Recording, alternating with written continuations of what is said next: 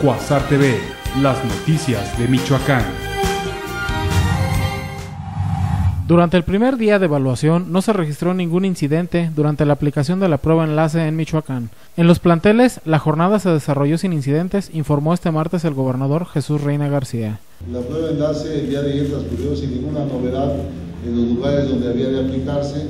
El día de hoy continúa y durante toda la semana seguirá aplicándose. La meta es aplicar la prueba enlace en al menos 6.000 escuelas de nivel básico en Michoacán, aunque la dirigencia de la CENTE ya dijo que no permitirán que se aplique dicha evaluación. Con información de Miguel Ángel Sánchez, informa Cuasar TV. El director de Mexicanos Primero Michoacán, Eric Áviles, dijo tener información que la prueba de enlace solo se aplicó en unas 450 escuelas del estado durante el primer día.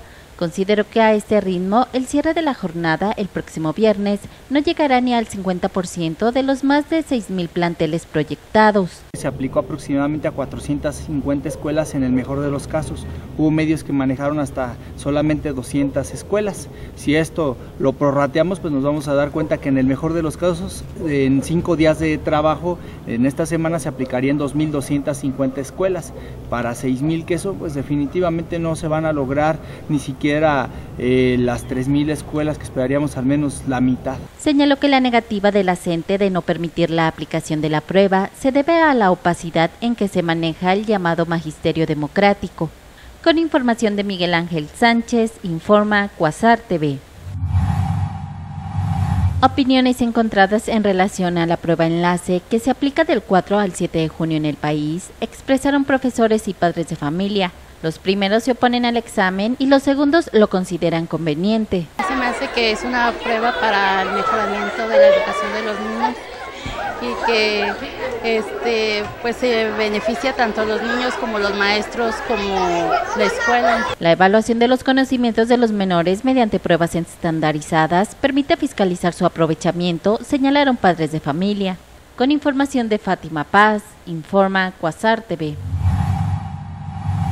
Solo el 10% de las 11.655 escuelas de educación básica de Michoacán están adheridas al paro educativo que mantiene en la entidad la Coordinadora Nacional de Trabajadores de la Educación, aseguró el gobernador Jesús Reina García. Se ha platicado con la sección 18, la CENTE, la coordinadora, en función de su retorno a clases, que ha ido poco a poco disminuyendo.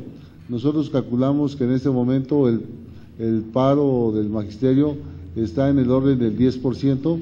La CENTE mantiene suspensiones de clases escalonadas desde el pasado 22 de abril en rechazo a la reforma educativa, pues dice que esta no obedece a las necesidades educativas, sino a intereses empresariales. Con información de Miguel Ángel Sánchez, informa Cuasar TV.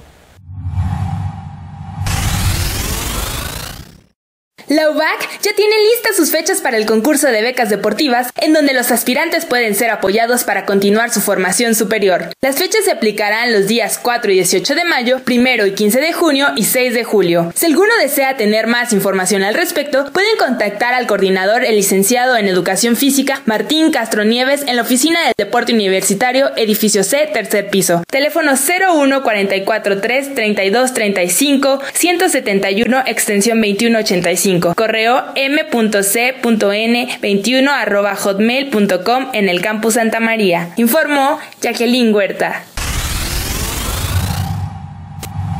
El incremento del 16% a la tarifa del transporte público en Michoacán se debió aplicar a la alza a los insumos que deben pagar los concesionarios. Pretendían cobrar 8 pesos, pero el gobierno de Michoacán autorizó la tarifa que sea de 7 pesos a partir de este 7 de junio. Y el gobierno estatal, eh, por conducto del órgano especializado que es la COCOTRA, eh, hizo un análisis y consideró conveniente un incremento del 16% después de tres años de que no ha habido incremento en el transporte.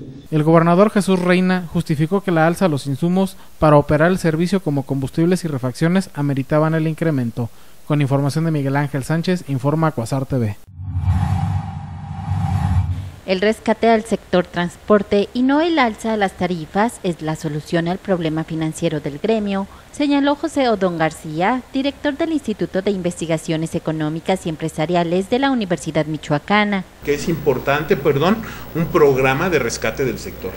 O sea, el sector mismo ocupa un, rescate, ocupa un financiamiento sano. A pesar de que durante cinco años la universidad participó de forma activa en los estudios de viabilidad de alzas a la tarifa, esa vez no fue convocada. Con información de Fátima Paz, informa Quasar TV. A través de un operativo implementado la madrugada de este martes, la Procuraduría de Justicia del Estado detuvo a cuatro ex empleados de la Auditoría Superior de Michoacán que mantenían una protesta tras haber sido despedidos hace meses. Los agentes policiales desmantelaron el campamento de los manifestantes contra quienes obran denuncias penales por despojo, daños en las cosas y, resistencia al desalojo. Como a las 5 de la mañana, 5.15, nos hablaron los compañeros para decirnos que estaban siendo desalojados.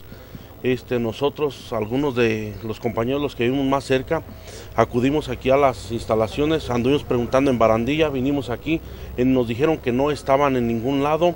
Los trabajadores despedidos se dijeron sorprendidos de esta acción, pues los 69 que fueron cesados en enero pasado mantenían diálogo con los diputados locales.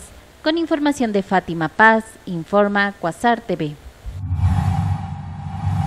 Familiares denunciaron presuntas irregularidades en el caso de los cuatro exauditores detenidos la madrugada de este martes en Morelia. Aquí hay muchas irregularidades. De hecho, hasta los vehículos de nuestra propiedad se los trajeron. Esposos de los detenidos dijeron que ellos mostraron una actitud cooperativa, ya que se planteaba que en caso de desalojo no deberían oponer resistencia. Con información de Fátima Paz, informa Cuasar TV. Este martes se instaló nuevamente la base de operaciones mixtas en comunidades del municipio de Los Reyes, Michoacán. Dada la inseguridad que prevalece en la zona, informó el gobernador Jesús Reina García. El día, entre el día de ayer y el día de hoy debe estar instalándose en este lugar nuevamente la base de operaciones mixta que traerá eh, tranquilidad a este lugar. Dijo que se decidió el regreso de la BOM luego de la reunión que sostuvieron habitantes de las comunidades con autoridades gubernamentales el pasado sábado. Para Cuasar TV, Miguel Ángel Sánchez,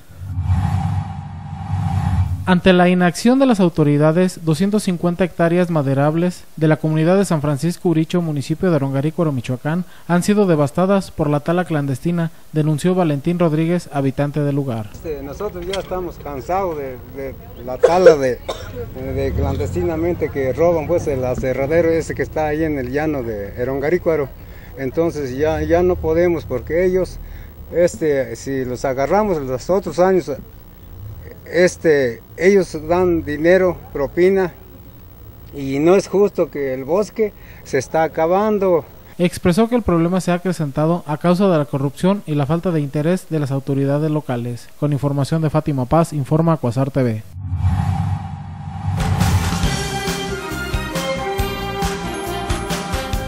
Cuasar TV, las noticias de Michoacán.